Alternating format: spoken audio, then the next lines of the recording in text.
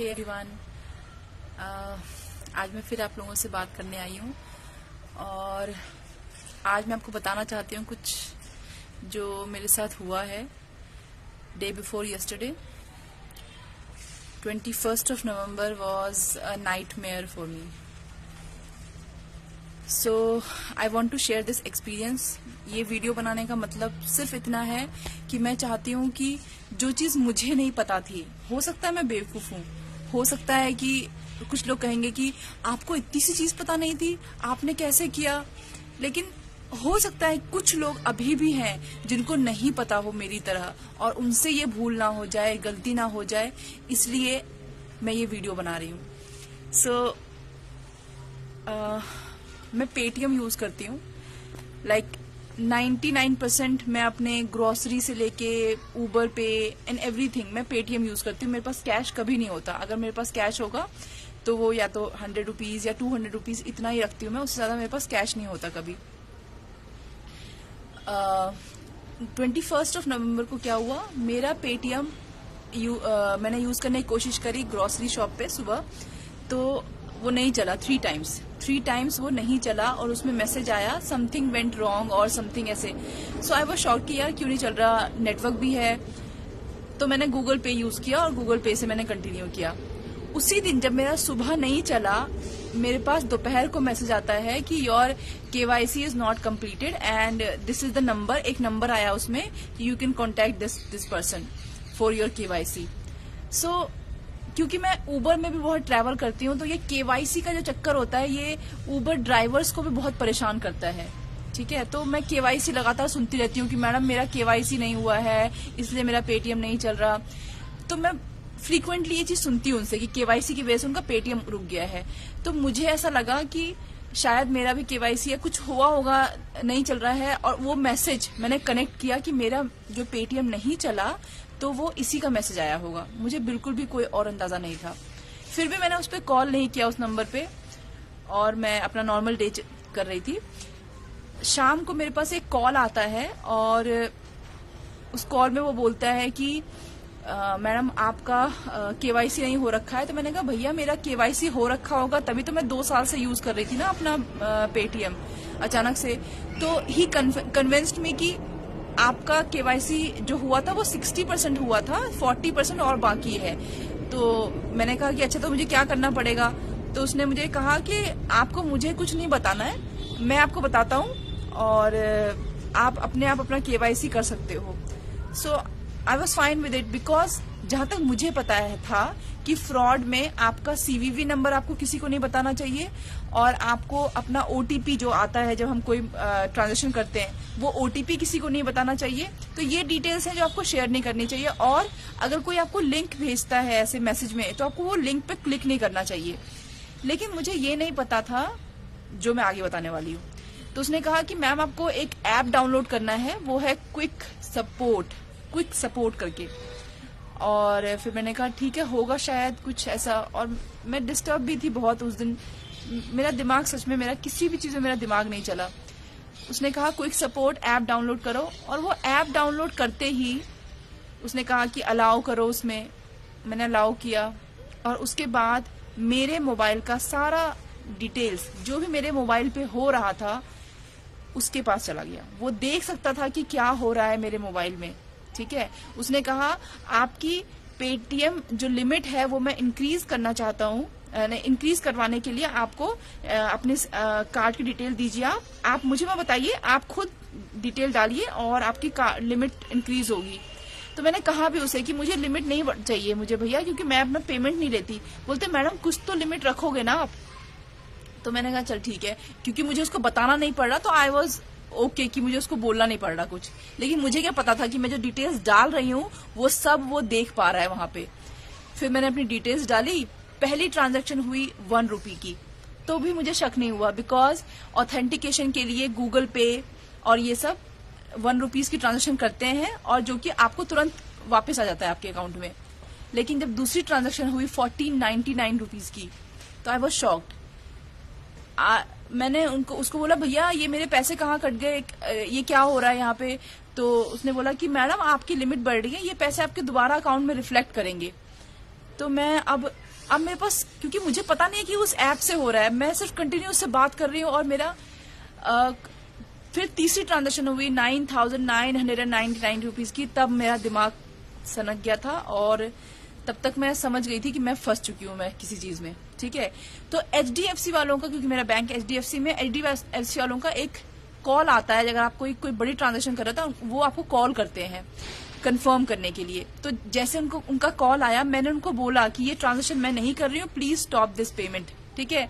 और मेरे अकाउंट में और कुछ कोई पेमेंट नहीं होनी चाहिए बिकॉज़ मैं नहीं कर रही हूँ। उसने मैंने मेरे बोलने के बावजूद अगले तीन चार ट्रांजेक्शन और हुए और ऐसा कर करके मेरा पूरा अकाउंट खाली हो गया। सो so, मैं आपको बता नहीं सकती कि अपनी मेहनत की कमाई, ठीक है, जो मैं दिन रात लगाकर कमाती हूँ, वो मेरे सामने मेरे सामने मेरे पैसों के कटने के मैसेजेस आ रहे थे और मैं कुछ नहीं कर पा रही थी। मैं जो आई वॉज़ जस्ट शाउटिंग और मैं घर में अकेली थी। And I am very thankful to my neighbour who was with me because मेरे लिए वो बहुत बड़ा सदमा था, बहुत बड़ा झटका था। मैं जो नहीं हैंडल कर पा रही थी। एंड सच बताऊँ तो मैं मरते मरते बची हूँ उस चीज़ से। जो पैसे गए गए। शायद मैं भी चली जाती उस दिन। फिर एन मौके पे मेरे हस्बैंड आ गए।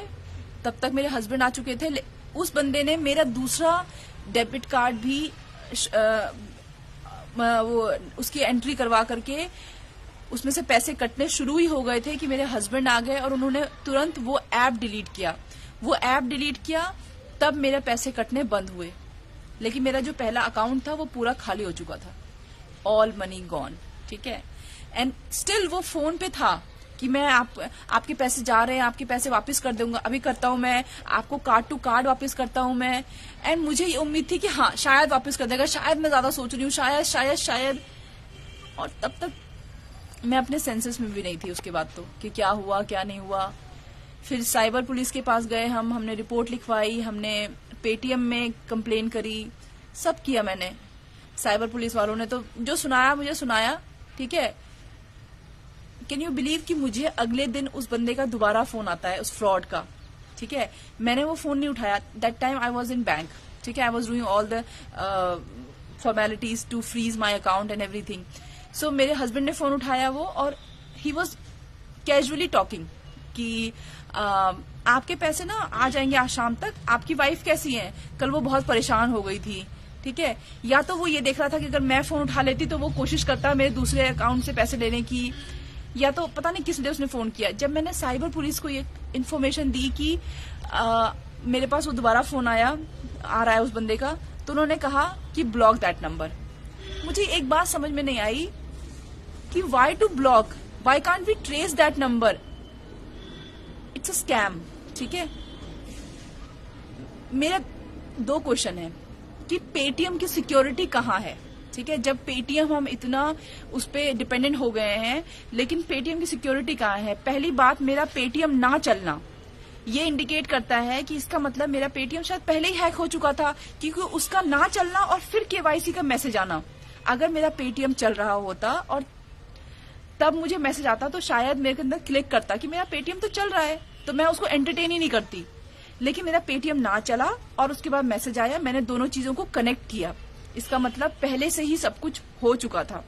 दूसरा, जब मैंने एचडीएफसी वालों को बोला कि आप, मैं ये पेमेंट नहीं कर रही हूँ प्लीज़ स्टॉप कराएँ इसको तो भी वो रुका नहीं तो भी होता गया। क्यों? क्या हमारे पास कोई टेक्नोलॉजी नहीं है कि हम मतलब क्या है, कुछ तो लूप होल है ना? तीसरा ये जब मैंने उस साइबर पुलिस को बोला कि आप मेरे पास वो फ़ोन आ रहा है तो उन्होंने कहा मैंने कहा हम वो ट्रेस नहीं कर सकते sir why why should I block that number तो उन्होंने बोला मैडम आप ना क्राइम पेट्रोल बहुत देखते हो। आपको लगता है कि नंबर से ट्रेस जा, किया जा सकता है क्या? आप मेरे पास आना मैं आपकी आधे घंटे की क्लास लूँगा और आपको बताऊँगा। मेरा क्वेश्चन आप लोगों से है और सबसे है। मेरे साथ जो होना था हो गया। इस वीडियो का एक मतलब है कि आप सब अवेयर रहें ये जो हो रहा है। दूसरा मेरा क्वेश्चन ये है गवर्नमेंट से कि हमने आ, हर चीज़ को डिज, आ, डिजिटल करने की कोशिश करी है कि आप इससे यूज़ करें ये यूज़ करें। पर सिक्योरिटी कहाँ है? और जब किसी के साथ ऐसा होता है तो पुलिस कैसे ये क्या आंसर था कि आप क्राइम पेट्रोल बहुत देखते हो? ये एक कॉमन नॉलेज है आई थिंक सबकी, कि हाँ मोबाइल नंबर से किसी को ट्रेस किया जा सकता है। जब मोबाइल से इतनी सारी चीज़ें हो रही हैं तो ट्रेस क्यों नहीं हो सकता? ये जवाब था उसका। बिकॉज़ शायद उसके लिए मेरे पैसे उतने मायने रखते। क्योंकि मैं शायद पॉलिटिशियन नहीं हूँ। शायद मैं मैं एक आम आदमी हूँ। ठीक है? तीसरा, मुझे पता है एचडीएफसी भी कुछ नहीं करेगी। कोई कुछ नहीं करेगा। ठीक है? सो so, मैं अब अपनी तरफ़ से ये कर सकती हूँ कि मैं एटलीस्ट जितने लोगों से मिल रही हूँ जितने लोगों को जानती हूँ और जितने भी मेरे आसपास हैं मैं सबको बता रही हूँ ये बात कि ऐसा हुआ ऐसा हुआ सारी डिटेल दे रही हूँ। सो दैट मेरी तरह किसी और के साथ ऐसा ना हो। प्लीज़ बी अवेयर ठीक है? अगर आप पेटीएम यूज़ करते हैं मैं तो बोलूँगी यूज़ करने की ज़रूरत ही नहीं है ठीक है? Back to normal cash use करें ठीक है? अपनी यूपीआई पिन अपने मोबाइल में ऐसे सेव, किसी भी ऐसे ऐप को HDFC या किसी भी बैंक के ऐप को रखने की ज़रूरत नहीं है because it is not safe जब आपके साथ कुछ ऐसा हो जाएगा तो ये वही बैंक है जो आपका सपोर्ट नहीं करेंगे। कुछ नहीं करेंगे ये। कोई कुछ नहीं करेगा। ठीक है? और हमें आई थिंक उसके बाद अगले दिन ही, कल के न्यूज़पेपर में आया पेटीएम का ये। क्योंकि आई थिंक मेरे से पहले भी लोग बैठे हुए थे, जब मैं साइबर पुलिस के पास गई। मेरे से बाद भी लोग थे। और कितना ज़्यादा हो रहा है? मतलब इतने सारे केसेस मैंने सुन लिए अपने आसपास ही उसके बाद, अगले दिन ही, कि अच्छा इनके, मेरे क्लाइंट में ही तीन लोगों के पास ऐसे मैसेजेस सेम मैसेजेस आए हुए हैं। और उसमें से दो लोग ये, वो भी कह रहे थे कि हम ये करने ही वाले थे कि बात कर लेते हैं यार केवाईसी करवा लेते हैं। अच्छा हुआ आपने बता दिया। तब मुझे लगा कि थैंक गॉड कि मैंने बात कर ली इस बारे में। थैंक गॉड कि मेरे थ्रू उनको पता चल गया कि क्या क्या हुआ। और वो बच गए। इसीलिए आपको, अगर आप किसी को जानते जो पेटीएम यूज़ करते हैं so please be aware and आप जितने लोगों को बता सकें, बताएँ, ठीक है? और किसी को भी इस मतलब इस सदमे से बचाएँ because it is not easy to handle this चाहे वो फाइव थाउज़ेंड रुपीज़ हो, चाहे वो फाइव लाख रुपीज़ हो, किसी की हार्ड अर्न मनी उसके सामने चली जाए इस तरह से, ये झेलना बहुत मुश्किल होता है। Thank you